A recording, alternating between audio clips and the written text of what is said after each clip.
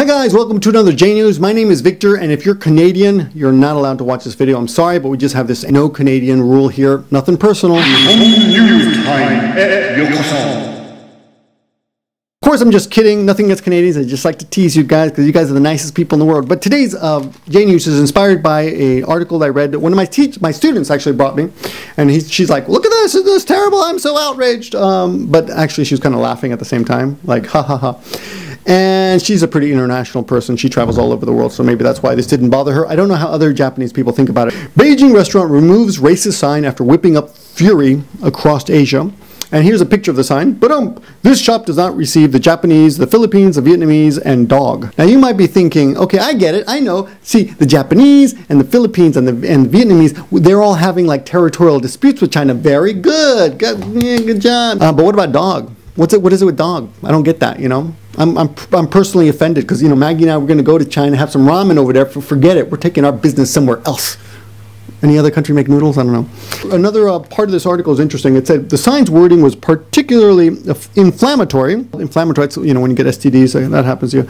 As it recalls China's colonial era when British-owned establishments barred Chinese from entering. And I thought, yeah, of course, yes, in England back in the day, you know, they had a white-only section. And of course, America did too, right? Back in the 1920s, they had white-only water fountains and colored-only sections and bathrooms and taxis and buses. And then, of course, Rosa Parks stood up and she said, no more! And she became a hero, and uh, in the civil rights movement, Martin Luther King, etc., etc. And now America is not so bad, right? Mm, actually, we still have problems, of course, as you all know. Just the other day, a um, white guy wrote a note when his, his wife was having a baby in the hospital. He said, no black nurses, please. Did he write please? I don't know. Would it matter, you know? Can you be a polite racist? And according to the article, it's like everybody knows this kind of stuff happens. Like it, it, it's not the first time. It was just kind of, you know, kind of exposed, you know. But this stuff happens, and although it's getting better, it happens more, I guess, in less um, socially evolved countries where they have fewer minorities, like here in Japan and, and China. So it's really not that surprising. But the good news, I think, is that I think it's getting better because, you know, 25 years ago so when I first came, there were more of these signs, but I, I rarely see any of these signs anymore. The only places I really see them at all now are like in front of, when you're walking down the street and there's like a like an adult, adult toy store and they, they sometimes have a sign like no foreigners. I get all my adult uh, toys back in the States, so there's no problem with me.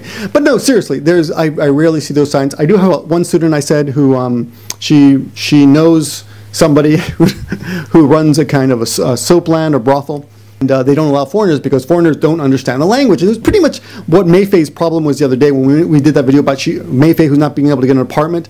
Uh, a lot. One of the main things I left out of that video was that it, one of the big problems is language, the language barrier. Why would you buy a building and want to rent it out to people and then have to micromanage each apartment with some foreigner who doesn't understand your language? Even if they do understand the language, and the, the, the possibility or the probability that they can write and read and write are pretty minuscule. It's hard. I've been, you know, I still struggle with, it, and I've been here forever. I can, I can completely understand that. But anyway, back to this topic. Um, the way that these countries dealt with it uh, is interesting. You know, Viet the Vietnamese were really outraged over this. And you, they're arguably less um, internet, in globalized, is that the word? Than the Philippines. And the Philippines kind of laughed it off, and they're like, "What's the big deal? The Chinese they eat fingernails and fetuses anyway. Who cares?" You know.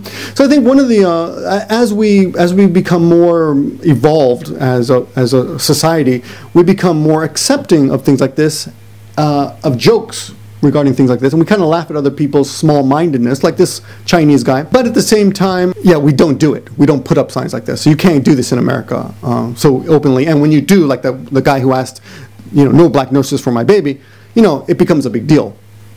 So it's getting better. What do you think of this sign anyway? Um, are you guys like, what do you think? Like the Japanese are getting a taste of their own medicine, or do you think it's just it just shows that the Chinese are less evolved than the Japanese? Because I I, I imagine there are more signs over there. And you got to admit, anyone who's got something a problem with dogs, you know, something wrong with them, right? Let me know what you think. Thanks for watching, guys. My name is Victor. If, you if you're not subbed to my channel, sub right now. Get the newest videos. This is the most controversial, most controversial channel, most controversial channel in the J-vlogging community. So give me some comments, give me some thumbs up, and uh, share the video. And thanks for watching. Talk to you soon.